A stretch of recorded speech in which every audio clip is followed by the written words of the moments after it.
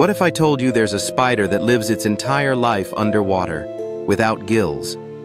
Meet the diving bell spider, a true marvel of nature. Unlike any other spider, this tiny arachnid spends almost all its time submerged in ponds and slow-moving streams across Europe and Asia. But how does it breathe beneath the surface? The secret lies in its extraordinary engineering skills. The diving bell spider spins a delicate silk web between underwater plants, then makes repeated trips to the surface, trapping air bubbles in the fine hairs on its abdomen and legs.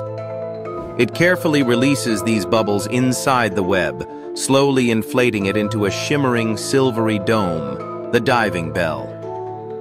This air-filled chamber acts like a living gill, allowing the spider to extract oxygen from the water and expel carbon dioxide. Inside this bubble, the spider eats, sleeps, molts, and even lays eggs, all while hidden from predators above. It's a perfect underwater home, built by an architect no bigger than a pea. This incredible adaptation shows how nature's ingenuity can solve even the most challenging problems in the most unexpected ways.